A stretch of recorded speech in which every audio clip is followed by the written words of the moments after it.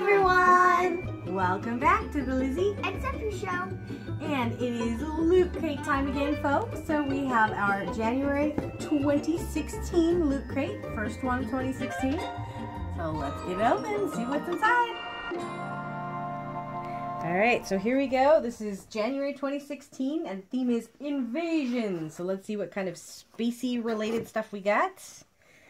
Well, first of all, we have a shirt which is, it's nice to have a shirt again, although not exactly sure what it is portraying. We got some people and some aliens. Looks like it could be Invasion of the Body Snatchers. Oh, it is X-Files. Well, there it is, folks. That apparently is, is Mulder and Scully. There we go. Alright. Um, we have some kind of? Weird creature. With a happy face. it's a happy spider. yeah, it's some kind, it looks like an insect or something. What is it? It is... Oh, it's supposed to be a face hugger. Yes, but it's it's too cute. It's it's so it's an alien face hugger, but it's too cute. There's the tag. Uh, but but it is adorable and a random rubber band. Um, I'm assuming. Yeah, I'm assuming you're supposed to put this around it and then wrap it around your head, which is kind of silly. But there you go. You can have a... a, a very adorable, cartoony face hugger. Not very scary though. Yeah, it's not scary. it kind of looks like a really weird shaped sun. it does, huh? Like a sun with a with a a tail or a stem. Yeah. okay. So then we have a X-Files LED flashlight. Alright. X-Files logo on the side there. Okay. And I'll grab the next one, which is Go for it. The Space Invaders one. We got the orange little figurine. Alright, let's open it up, Sephy. I think this is going to be my favorite in the box so far. Alright, go ahead and pull that out. It is. It's actually like a gradient. That's it's gradient. Very very good. It is gradient. Very good. Good word.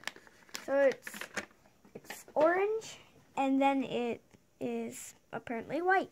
That's kind of cool cuz it looks like it would be Squishy. like hollow like like you could feel the inside but you can't. It's solid. So It looks like it cool. should be like jello or something. It does look like jello.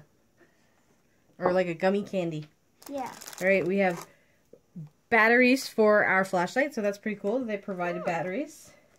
And then we have, all right, so it is a, a cloisonne pin. That is the, what these are kind of pins are officially called. And I only know that because the Sandman uh, worked at Disneyland for quite some time and pin trading there was very popular, but there it is. They said they were going to do better pins this year, so there it is. I actually like the other pins. I 20, do too. 2015 ones. Then, now this is awesome because I am a huge fan of The Fifth Element. It is my all-time favorite movie. And so we have a Leeloo Dallas Multipass. So that is awesome. Yes, she knows it's a multi-pass.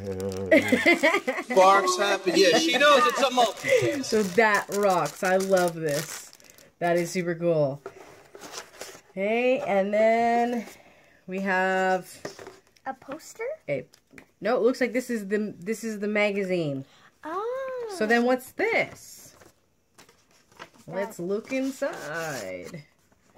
We got oh a War of the Worlds print. That's kind of cool.